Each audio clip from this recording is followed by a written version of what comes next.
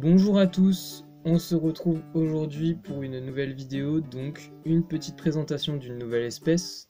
Donc comme vous aurez pu le voir ou le deviner, ce sont des Camponotus vagus. Donc j'ai reçu plusieurs fondations de cette espèce et je tenais à vous présenter la fondation la plus avancée. Donc là vous avez une petite fondation qui compte une, petite dizaine d'ouvrières avec un petit couvain.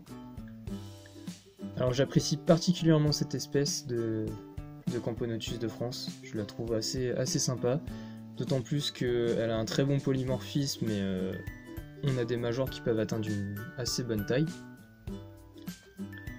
Donc là comme on le voit sur les photos, euh, elles sont quand même assez actives pour le petit nombre, hein, euh. donc c'est plutôt sympa je trouve, comparé au Camponotus liniperdus que j'ai qui d'ailleurs ne va pas très très bien.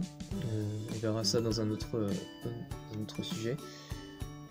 Alors j'avais déjà élevé par le passé des Camponotus vagus, enfin j'avais tenté des fondations mais j'avais eu le problème des pattes raides. Donc si pour les connaisseurs, les pattes raides c'est un problème assez récurrent chez le genre Camponotus. bref, je vais pas m'attarder sur ce sujet. Donc bah voilà, je retente et je repars avec des fondations qui sont déjà bien parties. Donc voilà, comme on peut le voir, euh, on a une petite trophalaxie juste ici, entre la gine et une ouvrière. Je vais essayer de faire un léger zoom dessus. Voilà.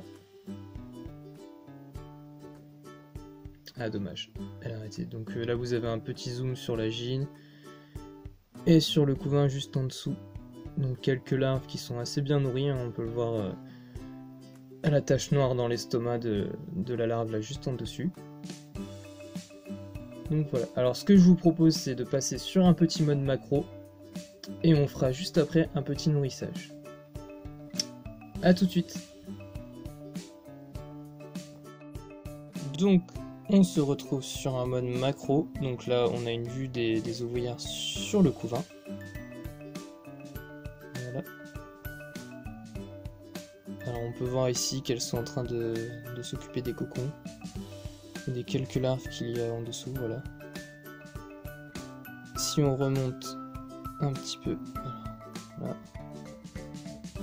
On a quelques larves ici. On a la gine ici. Voilà. Madame. On a quelques ouvrières ici qui sont en train de se prélasser. Voilà. Elles se reposent ou elles dorment, je sais rien ici aussi. Alors j'ai remarqué chez les Camponotus, euh, vous voyez là, elles bougent euh, souvent les pattes comme ça, je sais pas, je sais pas vraiment pourquoi, mais euh, je trouve ça assez drôle et j'ai remarqué que c'était vraiment un comportement typique chez les Camponotus.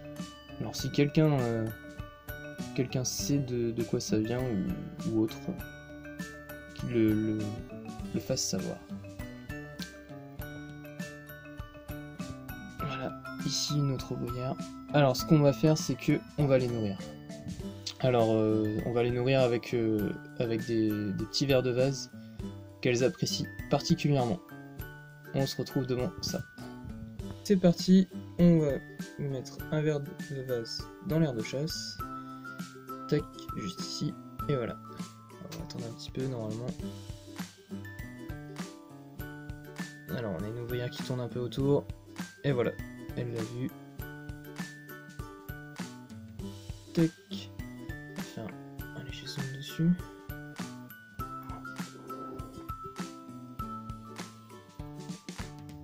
Alors voilà, la petite ouvrière qui s'attaque au verre de vase. Alors par contre on voit euh, le sang du verre de vase qui... Alors ce qu'elles font, c'est qu'elles aspirent directement euh, le liquide qui est contenu dans le, dans verre de vase. Et ensuite, elles les ramènent, euh, elle les ramènent au couvain pour, pour les décortiquer et donner directement là.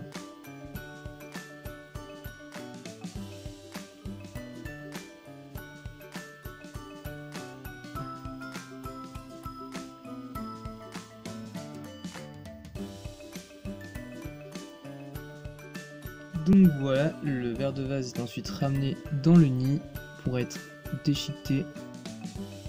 Donc là, comme on le voit sur la, vidéo qui suit,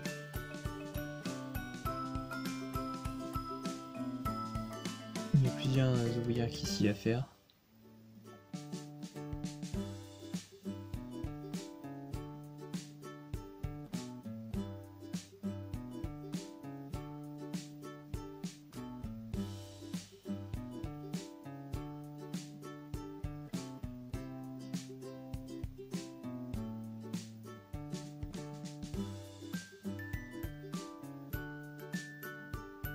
On voit très bien qu'elle lui euh, lui met des coups de mandibule dedans.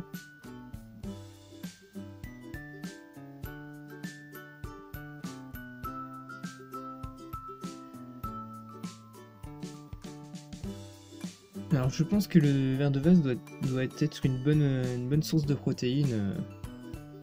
Il faudrait que je me renseigne sur le net. Mais en tout cas, je les particulièrement. Ça fait plusieurs fois que je leur en donne depuis que je les ai et euh, je les beaucoup.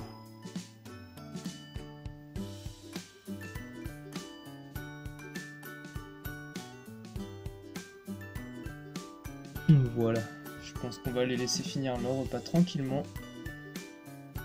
Et sur ce, moi je vais vous dire à la prochaine. Allez, salut tout le monde